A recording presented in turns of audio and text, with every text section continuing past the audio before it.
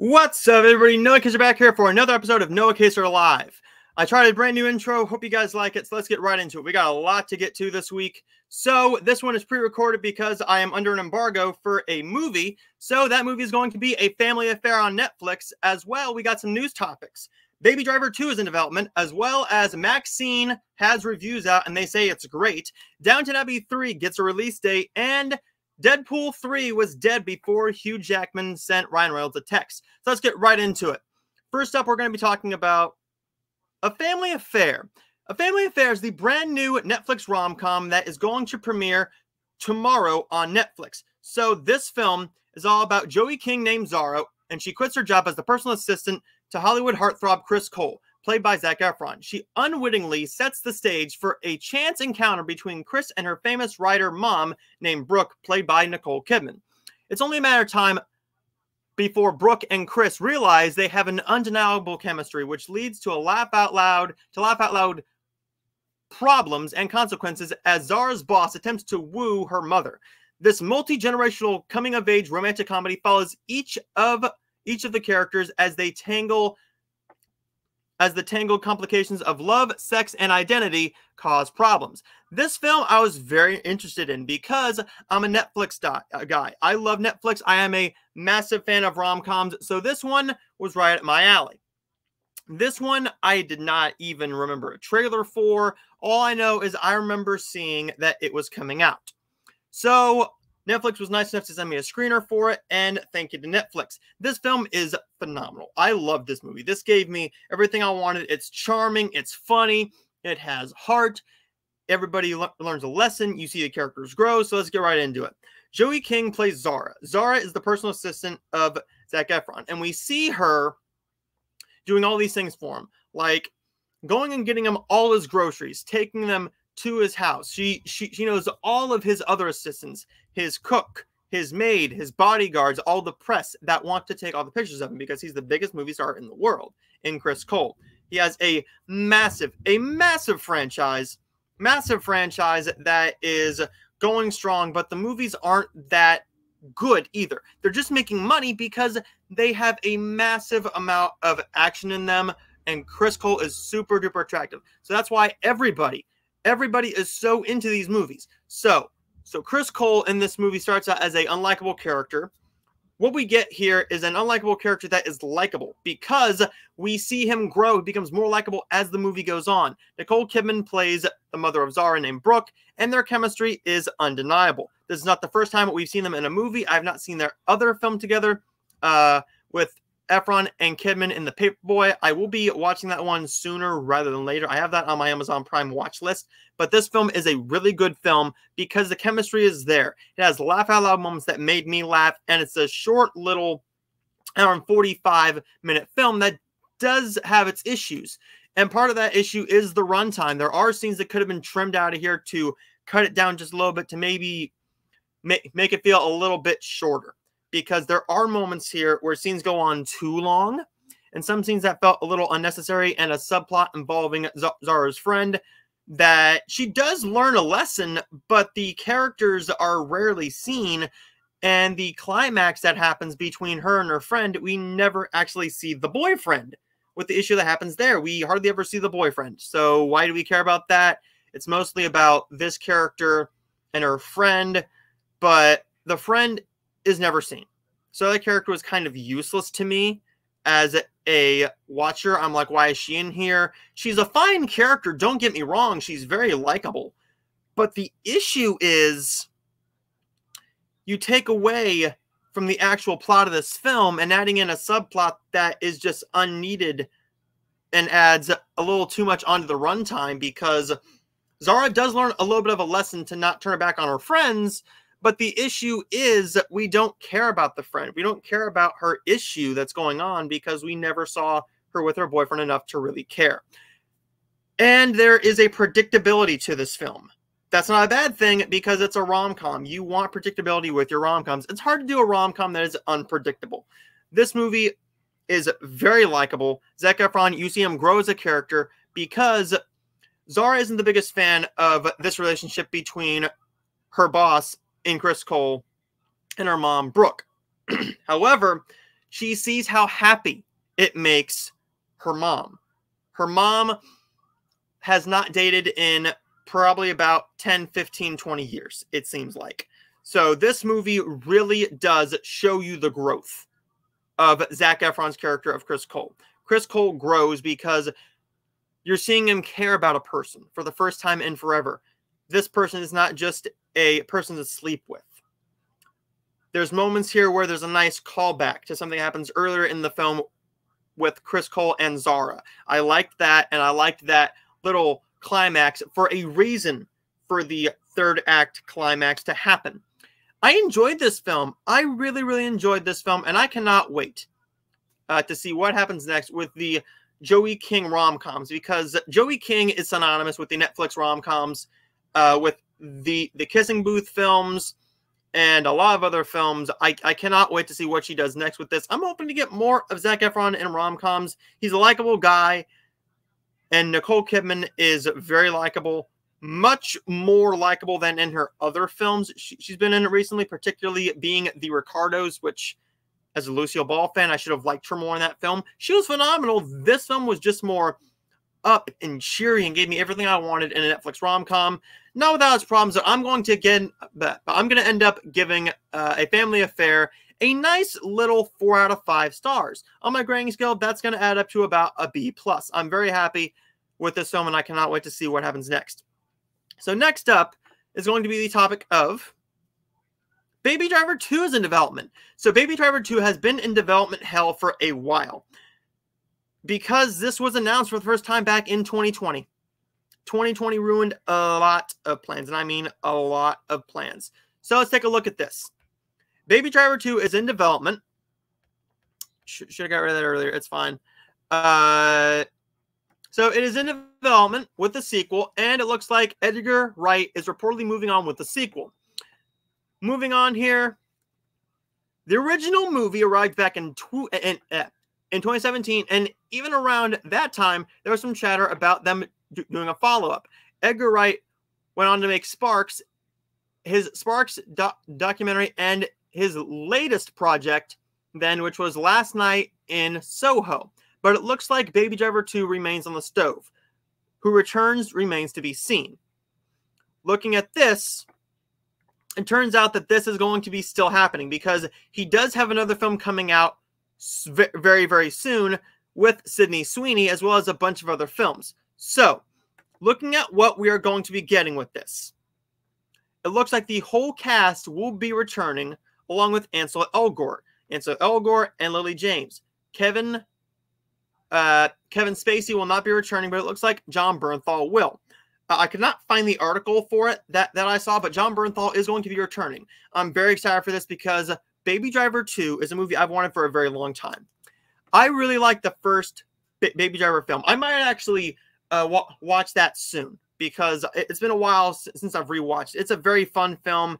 It's an hour and 52 minutes and it doesn't feel like it. The action is spectacular. The cinematography is great. Ansel Elgort doesn't have a lot to say in the film, but the chemistry and the and and the facial acting he does in that film really does make that film worth it. The action top notch. Edgar Wright is one of the best directors in Hollywood right now. And I'm a big fan of his film, Scott Pilgrim versus the World. That's probably one of my all time favorite films. It's a comfort film to me. Whenever I'm down, there's a handful of films I can easily think in my mind and quote, and that's one of them Scott Pilgrim versus the World. Baby Driver is one of the best action films I have ever seen. It's one of the most fun action films I have ever seen. And I'm excited for Baby Driver 2. What do you think about Baby Driver 2 coming in development? And are you excited for a potential sequel to Baby Driver? Are you into it? Can you see there being a bit of a draw for a Baby Driver? Because let's take a look at the box office here. The box office for Baby Driver was not a massive hit. It was not a massive hit. But for the budget it had, for the budget it had, it didn't do too bad. So, pulling this up here, pulling this up here. Let me see. There we go. Pulling this up here. It did all right at the box office. It did a very respectable $226 million at the box office, almost 227 million. And that's even with the 17 uh, uh, sorry, that's without adding in the seventeen million dollars that it did with the um, with the um the Blu-ray sales. So I want to check the budget here. What is the budget for Baby Driver? It did a oh, wow. It did a very very nice, a very nice job with its budget of it looks like 34 million dollars. So with the budget of 34 million dollars, they did a phenomenal job with what they had. The cinematography with the car chases looks top notch, and it doesn't look like it was made on a budget of $34 million. It has a very good score here on Rotten Tomatoes and IMDb and Metacritic 7.5 out of 10 on IMDb from fans, 92% on Rotten Tomatoes from critics, and a 86 out of 100 on Metacritic. And it's available to watch right now if you rent it or buy it on Apple on Apple TV or Google Play, probably on Amazon and Vudu as well, but it's also available to stream on Netflix. So that might be one of my next re-watches very, very soon. What do you think about Baby Driver getting a sequel? And are you excited for a Baby Driver sequel? I want it. I love Edgar Wright. I cannot wait to see what we get from this man again. So there's my thoughts on Baby Driver 2. And what did you think about it? Take a little bit of a of, of a drink break.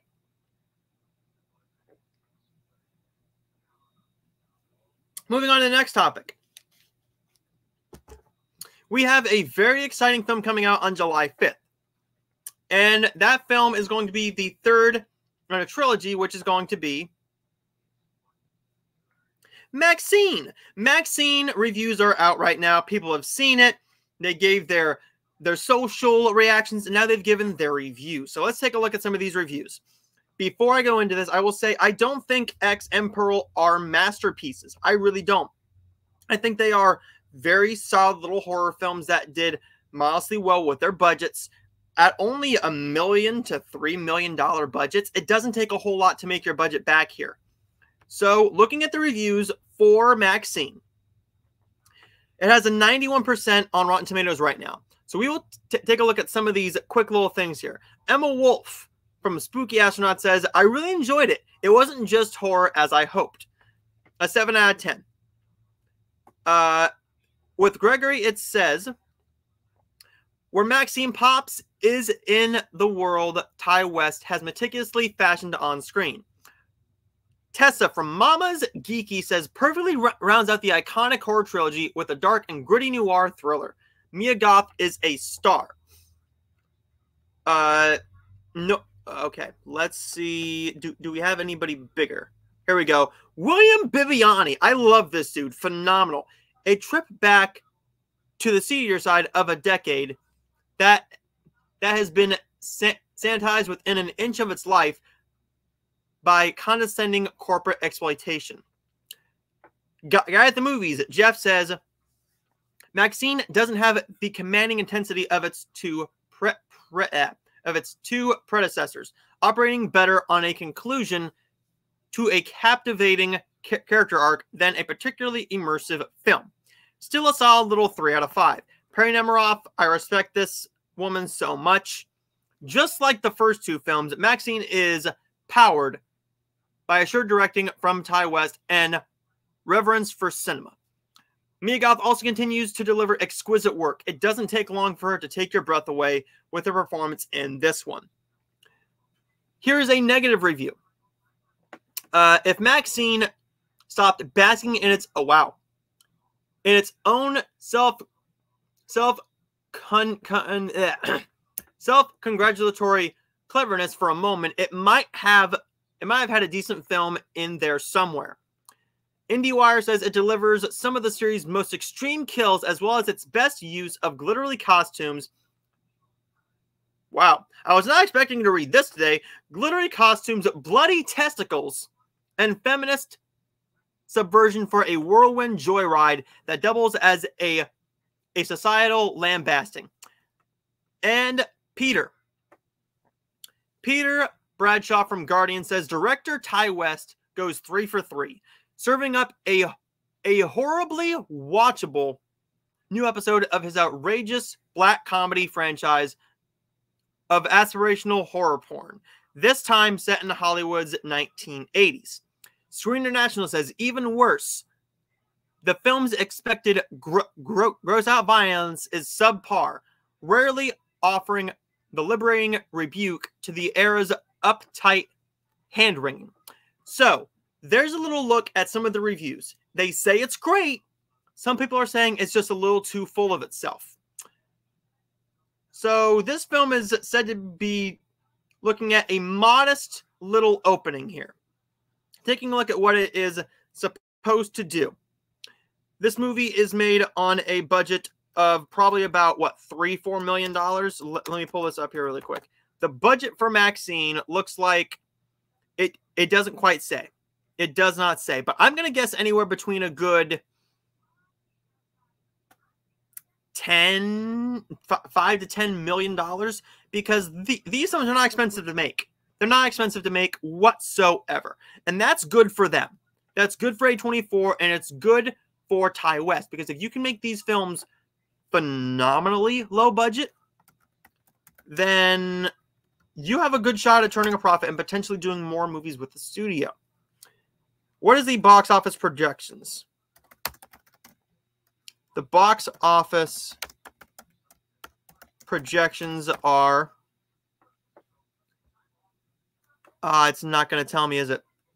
That that would that would just make a lot of sense. Okay, if I had to guess, it's going to open between. If I had to guess, it's going to open anywhere between a good three to five million dollars. Because looking at what X did, X opened to X opened to $4 million. It opened up $4 million on a $1 million budget. So there you've already gotten your budget back. You've already made your production budget back. You've already made back all of your production costs, all of your advertising buzz, or all all of your advertising budget $4 million, rounding out on a worldwide gross of $15 million. 2 million in Blu-ray and home video sales. Take a look at what Pearl did. Pearl had the same budget of a million dollars, I believe. I could be 100% wrong, but I'm I'm just going with it. What what Pearl did? Pearl in 2022 opened with good on here it opened with $3 million. So, not a great opening, really not a great opening. But for a movie like this, that one, you opened up against The Woman King, didn't do great at the box office either. And See How They Run didn't do all that well either. But it was in more of like a limited release of 2,400 theaters. Yes, it's limited, but with opening weekend, $3 million, they wasn't going to make a whole ton of money anyways. And to say that Pearl was a bomb, that's not really fair. That's not really fair at all. Because if you look at something like X movie budget, if you look at the budget for X, it's a million dollars. One million dollars. If you look at the budget for Pearl, the Pearl budget was also a million dollars and grossed 10.1 million. So I think this could do a really good three to five million dollar opening if people remember the X franchise. If you're a fan, you're obviously going to be there on opening night or opening weekend. You you will be there. You will give it your money. Generic moviegoers, they won't go and see it. They will not go and see it. Even though people want original cinema, they don't go and support original cinema, original horror, A24, unless it's like a, uh, a everything everywhere all at once or unless it's like a civil war, then they'll go and support it.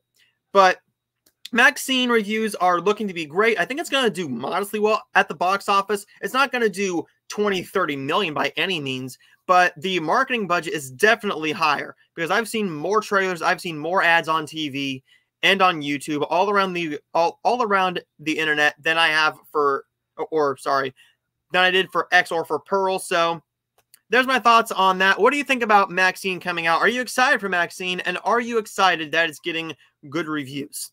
So, next up, we will be talking about Downton Abbey 3 sets a release date. So Downton Abbey 3 is very exciting because Downton Abbey 1 and 2 did phenomenally well at the box office. Looking at what they did here in a minute, with the budgets they had, those killed. Those legitimately killed. Downton Abbey 3 gets a September 2025 release date. This is coming from Variety. Uh, the Crawley family and their assortment of maids, butlers, cooks, and drivers, and well heeled relatives and, and various moneyed associates will be returning to the big screen next fall. Focus Features has slated the uh, the Downton Abbey 3 sequel for global release on September 12th, 2025. Currently in production in the UK, the film is is is again is once again penned by Down, Downton Abbey creator Julian Fellowes, with Simon Curtis returning to direct after he helmed 2022's Down, Downton Abbey: A New Era. So taking a look at that cast, that's a phenomenal cast. That is a phenomenal cast. This is what the budget was for the very, very first, only the first one. This was the budget for it. Uh, let me stop sharing that. Sorry about that. I didn't even know that that was still up. This was the budget for the first Downton Abbey. And I'm sure you can tell. I have not seen these films. I'm going to be completely honest with you. I have not seen these films. This movie, the first one, was made for 13 to 20 million dollars. And a new era was made for 40 million dollars. That's a phenomenal, phenomenal numbers. Phenomenal numbers. Take a look at the box office for what those movies did and why they're doing a third one. One, not because it's just such a global phenomenon, everybody loves it. Everybody loves these films based on a 13 to 20 million dollar budget for the first one the first one domestic already broke even. It already broke even. That should tell you how big of a film the third one is going to be because the fans are going to come out in droves for this film. They will come out in droves and it'll probably open number one at the box office just like number one did. I, I believe it opened at number one. It it made $194.6 million worldwide. That's almost a 50 50 split between the domestic audience and the, and the international audience. This cast is phenomenal. Looking at what it did on opening weekend, on opening weekend, this movie did. What am I looking for here? Here we go, box office. Looking at what it did on opening weekend, $31 million opening weekend. $31 million opening weekend. And it opened at number one. It opened at number one. It opened up against Rambo Last Blood and Ad Astra. Ad Astra. It it damn near doubled what Rambo did. It damn near doubled what Rambo did, and it damn near doubled what Ad Astra did at $19 million. 31 point, sorry, $31 million opening weekend. Taking a look at what we have with a new era with a $40 million budget, the domestic gross was a bit lower. It was a bit lower because the series had just ended. So it did turn a bit of a profit, a little bit of a profit at $92 million. Not as high, but I could see this doing another $92 million. If they keep the budget low for it, that's not an issue. If they keep the budget low for this film, lower it down to a good $30 million. And I know that the plots are not going to be phenomenal for this film. It's mostly like who's coming to dinner and who's going and what and what are we going to serve. That's probably what the movie's going to be about. The plot has not been announced yet, but it looks like we will be getting a Downton Abbey 3. Maggie Smith is going to return it looks like uh, as as is all of the all of the beloved cast. So, what do you think about this? Are you looking forward to it? Wait, is, is Maggie Smith not returning? Let me take a look at this article one more time because I'm not seeing Maggie Smith anywhere.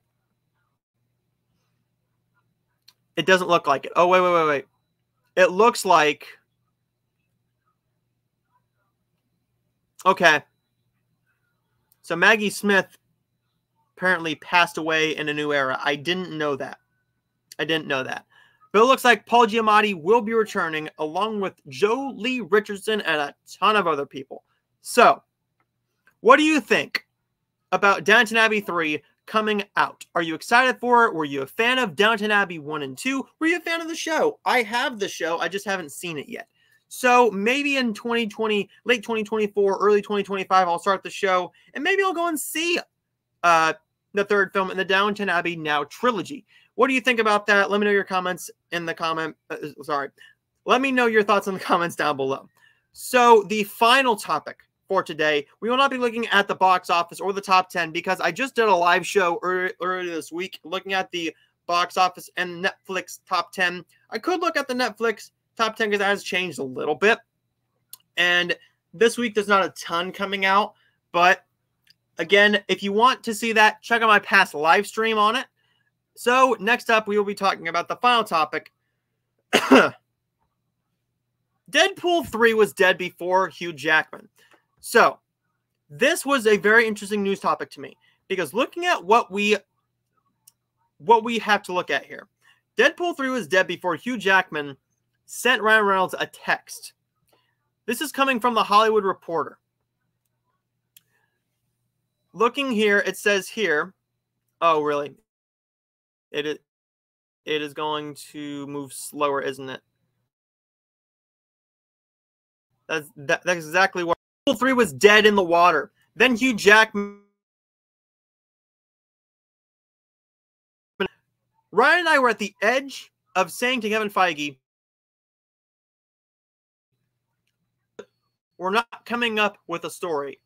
And that is the moment where Ryan's phone rang, says director Shawn Levy. Going down here, uh, a little bit, little bit more. There it is. Shit.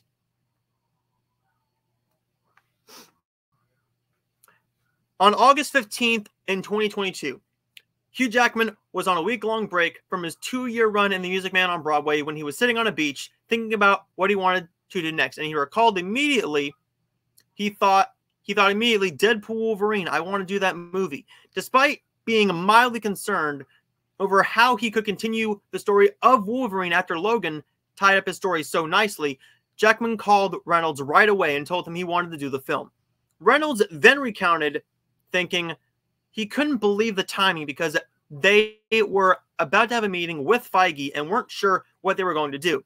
On the Zoom with Kevin, we just cut right to the fucking chase. The the Free Guy star told Va- Vanity Fair, we said, look, this call just came in. I feel like we'd be idiots to look at this gifted horse in the mouth and ignore it. This one in a billion chance, I really feel like is what we've been looking for. Then Hugh Jackman explained that he knew Deadpool would allow him to explore a different side of Wolverine than he had previously, noting everything felt new and fresh to him in the possible storylines they were looking into. I'd be sharing it with Ryan and Sean, who are two of my best friends. The Les Miserables Oscar nominee said, The three of us are hmm, the three of us together are like the three amigos. There was not a day where I wasn't in tears laughing. I felt so rejuvenated playing the part. I mean, I'm 25 years in, man, and it feels better than ever. So they they, they went on a little bit longer, saying Levy echoed Hugh, Hugh Jackman's statement about their friendship played into the role in the production of Deadpool and Wolverine. The friendship between the three of us made also made the movie better. He said, You're not embarrassed to try weird, dumb shit. And some of it is going to fail. Some of it doesn't work. But if you're comfortable, uh, if you're comfortable failing in front of your buddies, you're also going to be comfortable trying stuff that will be inspired. So it looks like Hugh Jackman was the one who got this movie going, which is very exciting because with that, we might not have gotten a Deadpool 3 this soon. We might not have gotten a Deadpool 3 this soon. If it wasn't for Hugh Jackman sending Reynolds a text, we wouldn't have gotten that film. That's very exciting. That is very exciting. What does that mean for the movie, though? Does that mean that there's going to be a ton of buddy humor? Yeah, they're they're going to pick on each other. They're going to beat each other up. There, there's probably going to be a phenomenal fight scene between Ryan Reynolds and Hugh Jackman, and there's going to be a ton of digs. There's going to be a ton of cameos. There's going to be a ton of just jokes that will work. Some won't work for some people because it's comedy. Comedy is subjective. But I'm excited for this. I'm very excited for Hugh Jackman and Ryan Reynolds to be in another film together because we did get a bit of a taste of that, which was very nice. But Deadpool 3 was dead before Hugh Jackman came back in. What are your thoughts on that? And are you excited for Deadpool 3? Who isn't? Really, who isn't? Will we get a third trailer sooner rather than later? Probably, G- giving us a bit more about the plot, maybe a bit of a couple tastes at more of cameos. But I think the marketing has been great. I'm really happy to know that Hugh Jackman was one who really got the ball rolling and got the story going for this movie because Deadpool is such a phenomenal franchise. The first two films made bank at the box office as well as as well as made tons of fans happy. It's an R-rated comic book franchise that we needed. They're violent, they're gory, they're funny, they are sexy, they are amazing. I'm looking forward to seeing what Deadpool 3 gives us. And that might be it for this time, guys. Well, well, well, you know what? Since I do it every week, we will take a look at this. We will take a look at this every single show. We will take a look at what is number one. So, what is number one when it comes to the movies on Netflix? I wasn't going to do it, but what's in the Netflix top 10? So, let's take a look here. It has changed a little bit. It will change by Saturday. 100% it will change by Saturday. But taking a look here, we have Trigger Warning still at number one. The Flash is at number two. Home is at number three. The Super Mario Bros. movie is at number four. Minions at number five. Shrek at number six. Lego Movie, the Lego Batman movie at number seven. Fifty Shades of Grey drops from number three down to number eight. Hitman at number nine. And Ultraman Rising at number 10. Taking a look at the TV shows, we have Worst Roommate Ever at number one, America's Sweethearts, The Dallas Cowboy Cheerleaders at number two, Your Honor at number three, Bridgerton at number four, Dexter at number five, Perfect Match at number six, uh, Gangs of Galicia at number seven, Queen Charlotte, a Bridgerton story at number eight, Erica at number nine, and Dancing for the Devil, the uh, the TikTok cult at number 10. So there is everything. I believe that number one this week in the movies will be a family affair. Uh, I am looking forward to that. The week after that, number one is going to be hands down. It'll definitely go to uh, Beverly Hills Cop Axel F. So there is that, everybody. Stay tuned because I have a lot more coming to you next week. I will be doing my reviews of A Quiet Place Day One and Minions, as well as Axel Foley F, and a lot more stuff. So stay tuned because I got a lot coming to you. And I will see all of you guys next time.